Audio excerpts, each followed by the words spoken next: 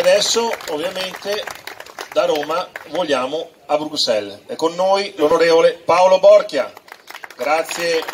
Paolo. Grazie Filippo, grazie a te e a tutta l'amministrazione per, per l'invito graditissimo, per, per, quello che è veramente un, un, momento di comunità molto molto significativo. Però visto che abbiamo la possibilità di, di essere su un palco, di avere in mano un microfono, di avere qualche decina di persone che ci ascolta, magari cerchiamo anche questi momenti di comunità di far sì che diventino più significativi lanciando alcuni spunti di riflessione. Eh, prima di tutto consentitemi di, di, ringraziare tutte le persone, le associazioni, tutti i volontari che hanno lavorato per far sì che questa fiera potesse essere organizzata, immagino con un coefficiente di difficoltà un po' più alto rispetto agli ultimi anni, quindi un saluto agli amici della protezione civile e un applauso giustamente alle forze dell'ordine e a tutti i volontari. Ma penso, penso che da questo palco siano arrivati dei messaggi, degli spunti molto, molto interessanti e pertinenti.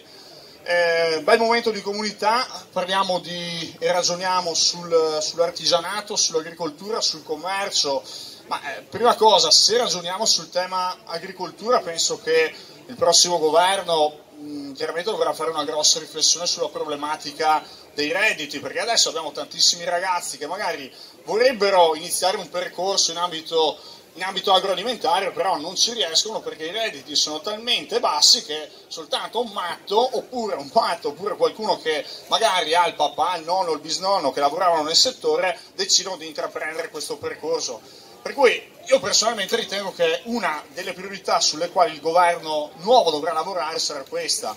poi il tema, il tema del, del, commercio, il tema dell'artigianato, adesso eh, è inutile, è inutile, nasconderlo, a rischio anche di essere banali, però chiaramente il tema, il tema delle bollette è quello che fa tremare i polsi ogni mese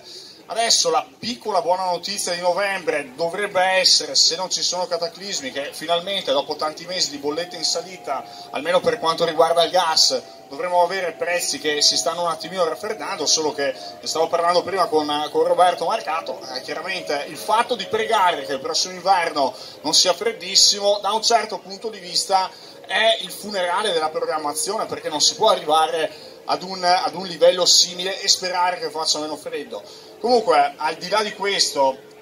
e, eh, e, chiudo eh, accogliendo l'assist di, di, Andrea Ostellari, il tema, il tema, del consumare il made in Italy, il made in Veneto se possibile diventa un tema fondamentale perché poi se i nostri operatori iniziano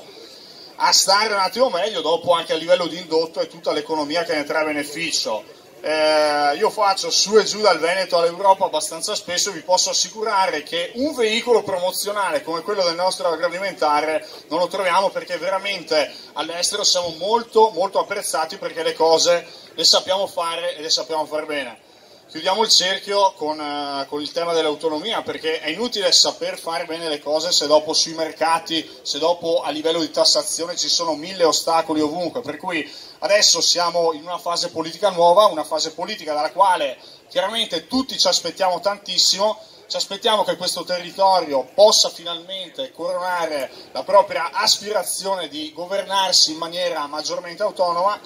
anche perché eh, purtroppo piaccia o non piaccia, ma viviamo in un mondo dove dobbiamo guardare le locomotive e non le tartarughe. Grazie a tutti, buona fiera. Grazie onorevole Paolo Borchia.